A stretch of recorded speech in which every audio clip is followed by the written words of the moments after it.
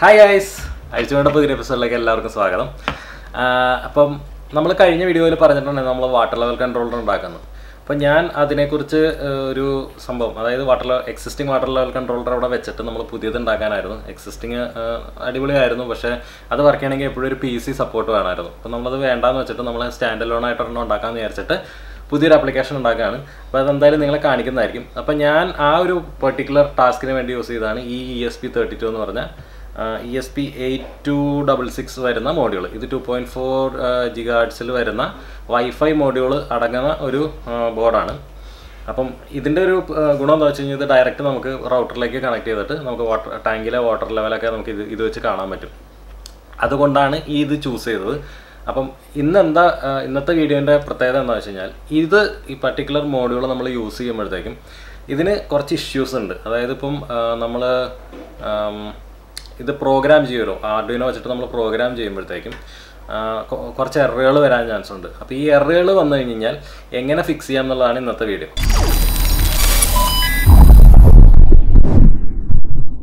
അപ്പോൾ ഗൈസ് ഇതാണ് നമ്മുടെ E S P thirty two module ഇതിന്റെ ഫ്ലേവറിന്റെ പേരാണ് നോഡ് എം സി യു ഇത് പല ഫ്ലേവറുകളിലും കിട്ടും.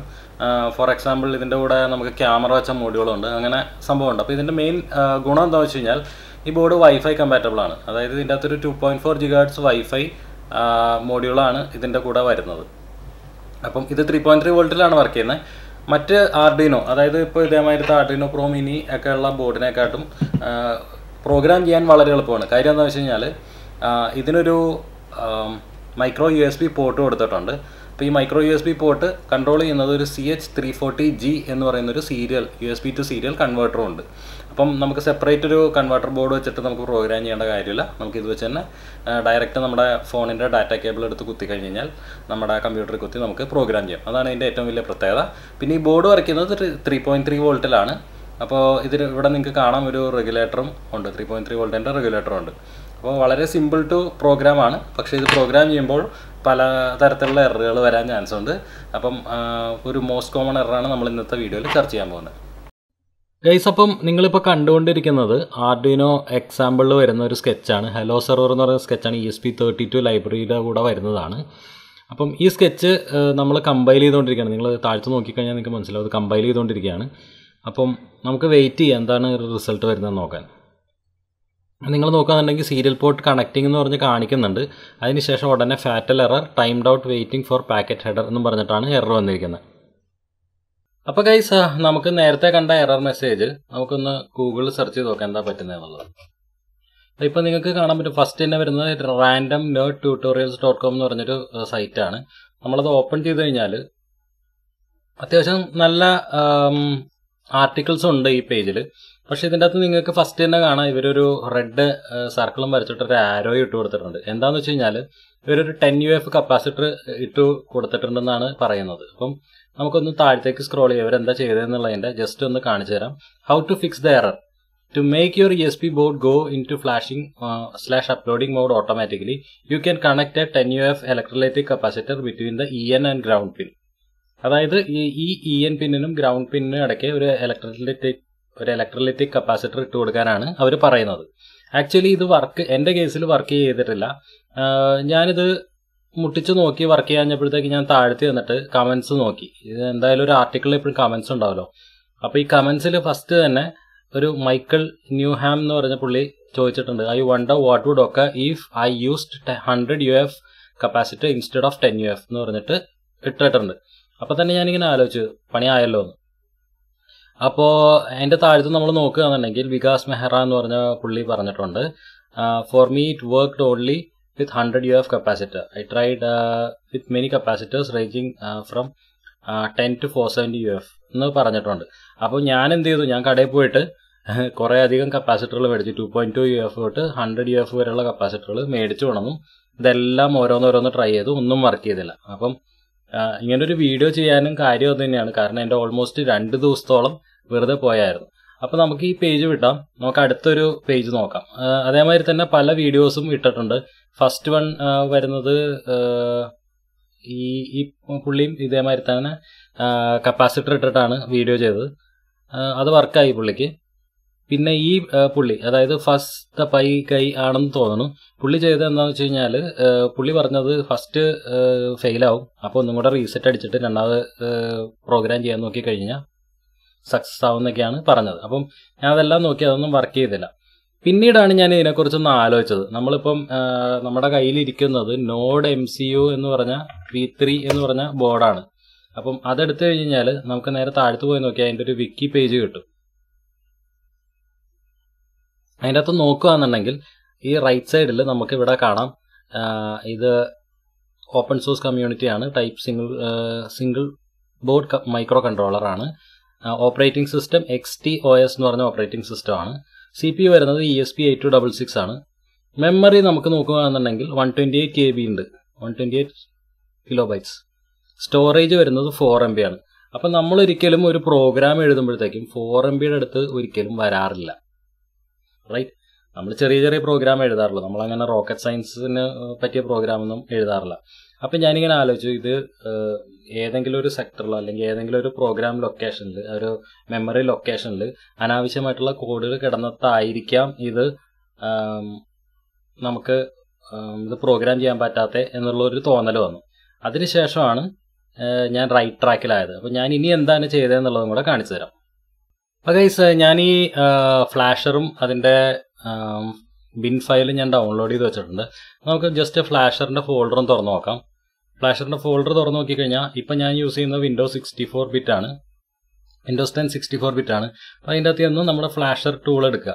ഫ്ലാഷർ ടൂൾ എടുത്തു കഴിഞ്ഞാൽ നിങ്ങൾക്ക് കിട്ടുന്നത് ഇതേമാതിരത്തെ ഒരു സംഭവമാണ് കിട്ടുന്നത് അപ്പം ഇതിന്റെ അകത്ത് ഇപ്പോൾ നമ്മുടെ ഓൾറെഡി നമ്മൾ പ്ലഗ് ചെയ്തിരിക്കുന്ന നമ്മുടെ E S P thirty two നമ്മൾ പ്ലഗ് ചെയ്ത് യു എസ് പിയിൽ പ്ലഗ് ചെയ്ത് വെച്ചിട്ടുണ്ട്. അപ്പോൾ അതിന്റെ കോമ്പോട്ടാണ് കാണിക്കുന്നത് കോമ്പോട്ട് എങ്ങനെ നോക്കുന്നത് വെച്ച് കഴിഞ്ഞാൽ നമ്മുടെ സ്റ്റാർട്ടിന്റെ ബട്ടന്റെ ഐക്കണിൽ ക്ലിക്ക് ചെയ്യുക. ഡിവൈസ് മാനേജർ ചെല്ലുക. ഡിവൈസ് മാനേജറിൽ ചെന്ന് കഴിഞ്ഞ് കഴിഞ്ഞാൽ നിങ്ങൾക്ക് കാണാം. പോർട്സിൽ ചെല്ലുക. പോർട്സിൽ ചെന്ന് കഴിഞ്ഞാൽ ഇത് കണ്ടോ? U S B to serial C H three forty എന്ന് പറഞ്ഞ് കണ്ടിട്ടുണ്ട് കോം ഫൈവ് അപ്പോൾ ഓൾറെഡി അത് സെലക്ട് ആയിട്ടുണ്ട്. പിന്നെ ഇപ്പോൾ എന്താ ചെയ്യേണ്ടതെന്ന് വെച്ച് കഴിഞ്ഞാൽ നമ്മുടെ നമ്മുടെ ഈ node M C U firmware പ്രോഗ്രാമറിൽ ചെല്ലുക കോൺഫിഗിൽ ചെല്ലുക.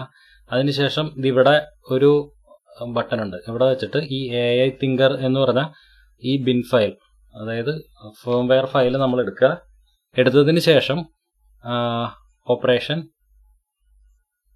ഈ baud rate nine six double zero തന്നെയാണ്. അതിനുശേഷം ഫ്ലാഷ് കൊടുക്കുക കൊടുത്തു കഴിയുമ്പോൾ നമ്മുടെ ബോർഡിന്റെ മാക്ക് അഡ്രസ്സ് നമുക്കിവിടെ കാണിക്കും. അതിനുശേഷം വെയിറ്റ് ചെയ്യാം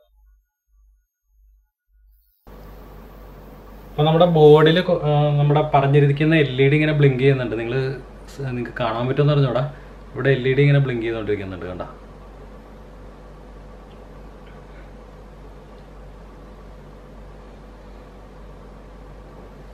ഇതൊരു പത്ത് മിനിറ്റോളം എടുക്കും.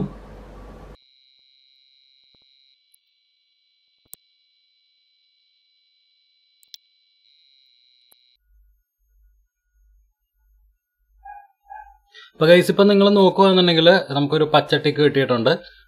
അതായത് നമ്മുടെ E S P complete flash ചെയ്ത് കഴിഞ്ഞാൽ നമ്മുടെ എൽ ഇ ഡി ഇവിടെ ബ്ലിങ്കിങ്ങും സ്റ്റോപ്പ് ആയിട്ടുണ്ട്. അപ്പം ഇനിയിപ്പോൾ നമുക്കൊരു കാര്യം ചെയ്യാം. നമുക്ക് ആർഡിനോ ഒന്നെടുക്കാം ആർഡിനോ എടുത്തിട്ട്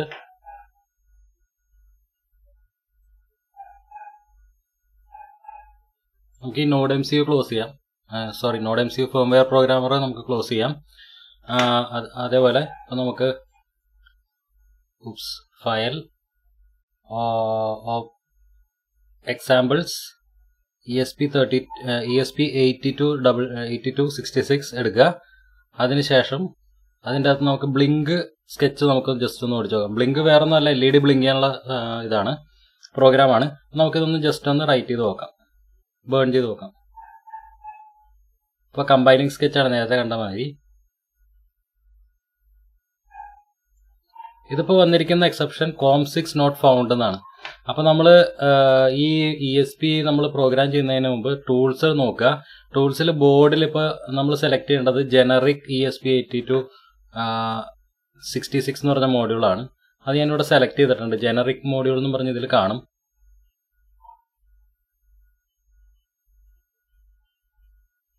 Generic E S P eighty two sixty six module എന്ന് പറഞ്ഞുകൊണ്ട് അത് കാണും. അതിനുശേഷം ഇപ്പോൾ അപ്ലോഡ് സ്പീഡ് ഇവിടെ ഉണ്ട്. One one one five two double zero എന്ന് പറയുന്നതാണ്.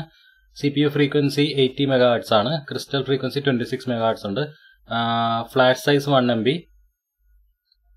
അതിനുശേഷം ഇവിടെ നമുക്ക് പോർട്ട് ഉണ്ട്. നമ്മുടെ നമുക്ക് വേണ്ടത് നമ്മുടെ കോം പോർട്ടാണ് പോർട്ട്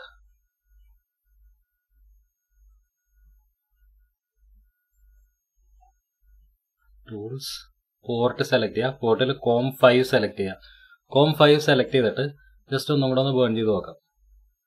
അപ്പോൾ കമ്പൈലിംഗ് സ്കെച്ച് എന്ന് പറഞ്ഞ് വന്നിട്ടുണ്ട്. അപ്പോൾ നിങ്ങൾ നോക്കുകയാണെന്നുണ്ടെങ്കിൽ നമ്മുടെ എൽ ഇ ഡി ബ്ലിങ്ക് ചെയ്ത് തുടങ്ങിയിട്ടുണ്ട്. റൈറ്റിംഗ് അറ്റ് എയ്റ്റ് പെർസെന്റ് എന്ന് പറഞ്ഞ് കാണിക്കുന്നുണ്ട്. കേട്ടോ ഇവിടെ താഴത്തെ എററൊന്നുമില്ല നമുക്ക് റൈറ്റിംഗ് അറ്റ് എയ്റ്റ് പെർസെന്റ് എന്ന് പറഞ്ഞ് കാണിക്കുന്നുണ്ട്.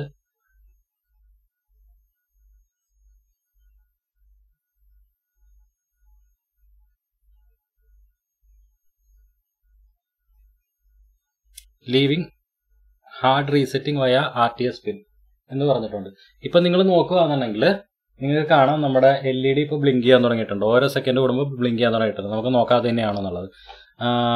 അതായത് delay digital write L E D built in low അത് കഴിഞ്ഞിട്ട് ഒരു ഒരു സെക്കൻഡ് വെയിറ്റ് ചെയ്യും. അതിനുശേഷം ഹൈ റൈറ്റ് ചെയ്യും. പിന്നെ രണ്ട് സെക്കൻഡ് വെയിറ്റ് ചെയ്യും. കണ്ടോ? അപ്പോൾ ഒരു സെക്കൻഡ് കെട്ടും ഒരു സെക്കൻഡ് എൽ ഇ ഡി കെട്ടും കിടക്കും രണ്ട് സെക്കൻഡ് കത്തിയും കിടക്കും. അപ്പോൾ അതിനനുസരിച്ച് വർക്ക് ചെയ്യുന്നുണ്ട്. അപ്പോൾ നമ്മുടെ ഈ ബോർഡ് മര്യാദയ്ക്ക് വർക്കിംഗ് ആയി തുടങ്ങിയിട്ടുണ്ട്. അപ്പോൾ ഗൈസ് ഇത്രയുള്ള ഇന്നത്തെ വീഡിയോ ഇന്നത്തെ വീഡിയോ ചെയ്യാനായിട്ട് അത്യാവശ്യം നല്ല രീതിയിൽ റിസർച്ച് ചെയ്യേണ്ടി വന്നു. കാര്യം എന്താ വെച്ച് കഴിഞ്ഞാൽ ഈ ഒരു ബോർഡ് വർക്ക് ചെയ്യാഞ്ഞിട്ട് രണ്ട് ദിവസത്തോളം ഞാൻ ഇതിന്റെ പുറകെ തന്നെ നിൽക്കുമായിരുന്നു റിസർച്ച് ചെയ്തുകൊണ്ട്. കാര്യം എന്ന് വെച്ച് കഴിഞ്ഞാൽ ഈ എൽ ഇ ഡിയുടെ ഡിസ്പ്ലേ ഞാൻ ഈ ഈ മോഡ്യൂൾ കൊണ്ടാണ് ഞാൻ വർക്ക് ചെയ്തിരുന്നത് അപ്പോൾ അതായത് ഈ നോഡ് എം സി വെച്ചിട്ട് ഞാൻ ഈ L E D display work ചെയ്തിട്ടുണ്ടായിരുന്നു അതിനുശേഷം എന്ത് പറ്റിയെന്ന് അറിഞ്ഞൂടാ? പെട്ടെന്നാണിത് പ്രോഗ്രാം ചെയ്യാണ്ട് പറ്റാണ്ട് വന്നത്. പ്രോഗ്രാം ചെയ്യാൻ പറ്റാണ്ട് വന്നത്. അപ്പോൾ എന്തുകൊണ്ടാണെന്ന് അറിഞ്ഞൂടായിരുന്നു? അതിന് ശേഷം കുത്തിപ്പിടിച്ചിരുന്നാണ് കണ്ടുപിടിച്ചത്. അപ്പം ഇനി ഭാവിയിൽ ഇതേമാതിരി എന്തെങ്കിലും ആയി കഴിഞ്ഞ് കഴിഞ്ഞാൽ ഫിക്സ് ചെയ്യാലോ എന്ന് വിചാരിച്ചിട്ടും കൂടിയാണ് ഞാൻ ഇങ്ങനെ ഒരു വീഡിയോ ചെയ്യുന്നത് കേട്ടോ. അപ്പം പ്ലസ് അത് മാത്രമല്ല നിങ്ങൾക്ക് ഇതേമാതിരി ഇഷ്യൂ ഉണ്ടെങ്കിൽ നിങ്ങൾക്ക് തന്നെ ഫിക്സ് ചെയ്യാൻ പറ്റും. അതുകൊണ്ടാണ് ഒരു ഫ്യൂച്ചർ റെഫറൻസിന് നിങ്ങൾക്കും ഉപകരിക്കും എനിക്ക് ഉപകരിക്കും എന്ന് വിചാരിച്ചിട്ടാണ് വീഡിയോ ചെയ്തത് അപ്പോൾ ഇന്നത്തെ വീഡിയോ നിങ്ങൾക്ക് ഇഷ്ടമായി കാണുമെന്ന് പ്രതീക്ഷിക്കുന്നു. ഇഷ്ടമായെങ്കിൽ തീർച്ചയായും ലൈക്ക് ബട്ടൺ അടിക്കുക. ഫ്രണ്ട്സുമായിട്ടൊന്ന് ഷെയർ ചെയ്ത് വിടുക. നിങ്ങൾ ഇതുവരെ എന്റെ ചാനൽ സബ്സ്ക്രൈബ് ചെയ്തിട്ടില്ലെങ്കിൽ ദയവ് സബ്സ്ക്രൈബ് ചെയ്യുക.